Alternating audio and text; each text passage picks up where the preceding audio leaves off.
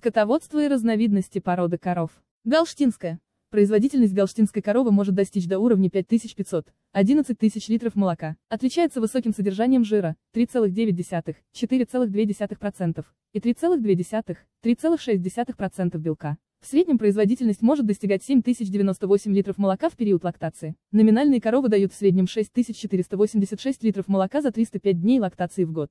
Показатели удоя галштинской породы коров колеблются в разных странах. Они зависят в первую очередь от климатических условий и рациона. Красная датская. Экстерьер коров красной датской породы КРС характеризуется глубоким, широким, с округлыми формами туловищем на средних и даже низких конечностях, хорошо развитой мускулатурой, большим округлым или чешеобразным выменем. Высота в холке в среднем 127 см, ширина груди 50 см, ширина зада в маклоках 55 см, глубина груди 69 см. Средняя живая масса коров 550-650 кг, быков 1000-1300 кг. Шведская, в первую очередь интересует тех лиц, кто желает купить в личное подсобное хозяйство. Шведскую корову. От одной коровы можно получить от 3 до 3,5 тонн молока жирности от 3,6 до 3,8%. Племенные хозяйства показывают более высокую продуктивность. До 5000 кг и жирность до 4%. Белка содержится в продукте от 3,2 до 3,6%. Высокопродуктивные шведские буренки дают от 9 до 10 тонн молока в год.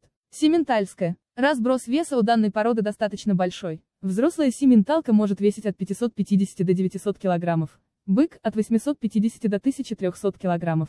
Это зависит от того, в каком направлении велась селекция конкретной популяции сименталов. Новорожденные телята весят от 35 до 45 килограммов. Они хорошо реагируют на откорм и к 6 месяцам живой вес теленка составляет уже 180-230 кг. В год разница между телочкой и бычком составляет более 100 кг. Годовалые телята весят от 230 до 350 кг. При грамотном откорме среднесуточный привес 0,85 1,1 кг в сутки. В год бычков и выбракованных телок отправляют на убой. Абердин Ангус. Телята Абердин ангусской породы рождаются небольшими, масса их тела составляет 22-28 кг. Телочки при этом весят 22-25 кг, а бычки 25-28 кг. Растет молодняк буквально по часам и к 6 месяцам на материнском молоке наедает до 180 кг. Когда телят лишают коровьего молока, они уже весят до 230 килограмм. Прибавляя в сутки по 1000 грамм, к трем годам они могут достичь от 430 килограмм до половины тонны веса. Полновозрастные коровы достигают 500-550 килограмм, а живой вес быков – 750-950 килограмм. На откорме вес взрослого абердин. Ангусского быка может доходить до 1000 килограмм. Хорошие зрелые буренки весят от 650 до 700 килограмм. С таких животных получается от 60 до 70% убойного выхода. Шароле. Коровы шароле представляют интерес не только как источник мясной продукции. Они дают достаточно жирное, до 4,1% молоко, в среднем до 2,5 тонн в год. Крайне редко показатель доходит до 4 тонн. Однако основное направление, мясное и шароле в этом себя полностью оправдывают. Толята рождаются очень крупными, от 30 килограмм. Фиксируются случаи появления на свет потомства с весом по 55-70 кг. Интенсивный рост продолжается до вторых лет и в среднем за сутки привесы составляют 1,0-2,0 кг. У породы сильно проявляется половой диморфизм, коровы отстают от более крупных быков шароле. А они в свою очередь вырастают больше тонны, обычно масса находится в пределах 1000-1600 кг, хотя некоторые быки поражают воображение и набирают до 2000 кг.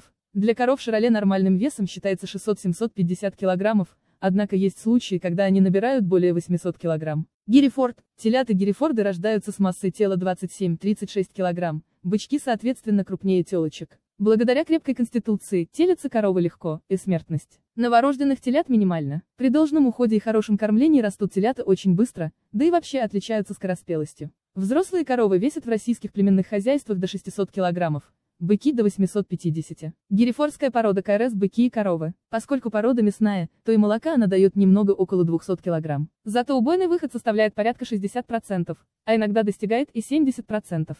Мраморное мясо герефордов сочное и питательное, благодаря высокому содержанию калорий, волокна тонкие с равномерной жировой прослойкой. Мясные качества передаются новым поколениям рогатого скота, поэтому специалисты пользуются этими знаниями при скрещивании коровы герефордской породы с особями других пород.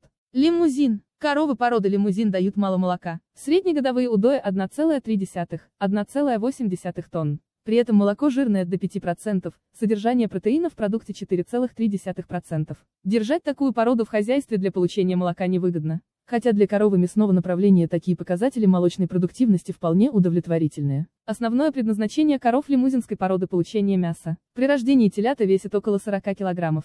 Некоторые фермеры выращивают телят до 6-8 месяцев и отправляют их на убои, так как к этому возрасту вес животных достигает 300-450 килограммов. При интенсивном питании бычки породы лимузин вырастают до 500-550 кг к 15 месяцам. Средний привес телят составляет 800 тысяч граммов в сутки. Племенные производители набирают массу тела более 1300 кг.